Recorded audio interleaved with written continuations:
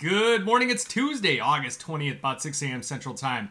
All right, the precious metals continue to march higher after yesterday's decline in the gold silver ratio. Silver continues to gain on gold prices with the gold silver ratio dropping to 86 to 1. How you calculate the gold silver ratio is you just take the price of one ounce of gold divided by one ounce of silver, and it'll come out to about 85.89 ounces for silver for one ounce of gold. So looking at prices overnight, you do have the December gold up $20 at 25.61, new record highs overnight. That high being 25.63.80.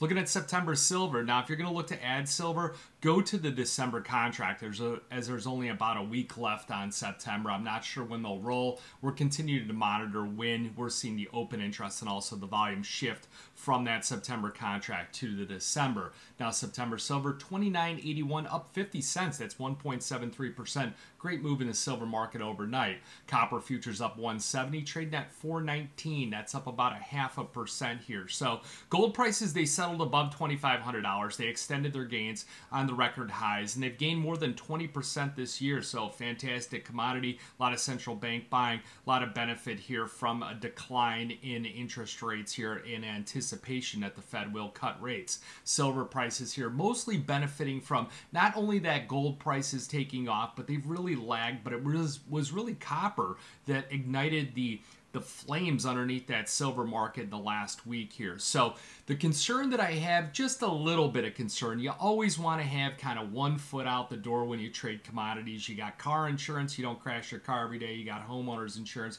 you got health insurance. You don't hurt yourself every day, but you do want to be aware of some things that are going on in the background here. So you do have the union at BHP's, that Escondida copper mine in Chile. They did sign a new deal that ended the risk of a strike. Now, remember, we did have several days where copper production and silver production were taken offline that further strains the supplies and that's production that'll never be brought back online. So prices do have to adjust to that. But now with those prices or i'm sorry with the mines back in operation we're not seeing any kind of follow through action. So the last time they had a strike it went on for 44 days. Prices really ignited higher on that. So this is a bit more of a muted reaction and i think that you know, we're going to continue to want to monitor things like global equities, which continue to recover. Traders are really focusing, though, on that Jackson Hole Symposium on Friday. The dollar index breaks below 102, and Treasury yield if you want to look at that, they're continuing to consolidate. They're making this pennant type of formation. So they could break out one way or the other, and a lot of it's going to hinge on what he says here later in the week. Now, if you look at things that are coming out, not really much anything. No real economic data. The only time we do get economic data here this week is really on Thursday, where we get the unemployment claims, the flash manufacturing PMI. That's really important for those precious metals, especially those base metals. But today we're going to have FOMC member Bostic and Barr are both going to speak here, but it's later in the afternoon. Now, looking at the CME's Fed Watch tool, no real significant change overnight. 75% chance that the Fed cuts 25 basis points and a 24% chance that the Fed cuts 50 basis points. Now, the way that a lot of it works when they do cut rates at the first time. Usually the markets actually take a step back because of the fact that you're starting to see people that were getting north of 5% on their money markets, many of the older people that rely on that, it'll it'll come off. So yields are going to come off that they're earning on their their bank accounts and things like that and people actually tighten up the belt for just a brief moment and also lenders become slightly concerned that hey the Fed's cutting rates and that may imp- imply that there's going to be a bit of a storm ahead as far as the economy so they also do tighten up their lending. So markets tend to take a bit of a step back here um, when we get that first interest rate cuts. Now taking it to the chart on the gold market. So there's a couple things here to, to look at.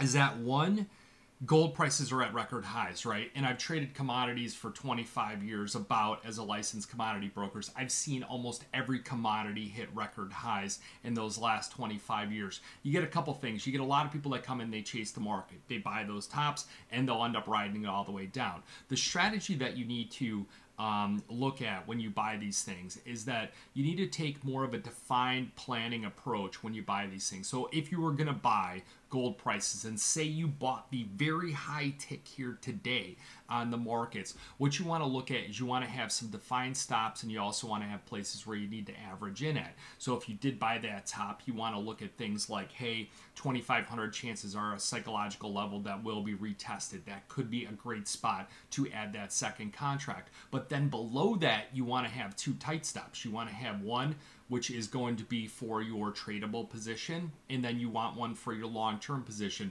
So you want to look at some key levels here. The 50-day moving average on the gold market, 24.39, and then also you want to look at kind of that recent low here from the August 16th low, which was right around that 24.88. So if you were to buy two contracts, you and you say you did buy the top, buy the top, look at a psychological level where the market may retest to add to that position to bring your dollar cost average down, but then also have two tight, one tight stop below that 2488, and then have your line in the sand type stop at a key level like a 50 day moving average, which is 2439. If gold prices broke below that level, chances are it's not going to look very good at all. So then the second thing you want to look at, so we've measured out a couple different levels here, is now you want to look at the proper contract size given your particular account. So a lot of people don't like to see more than like 2 or 4% of volatility in their account whatsoever. So remember that gold futures do have a 10 ounce contract, they've got a 50 ounce contract, they've got 100 ounce contracts,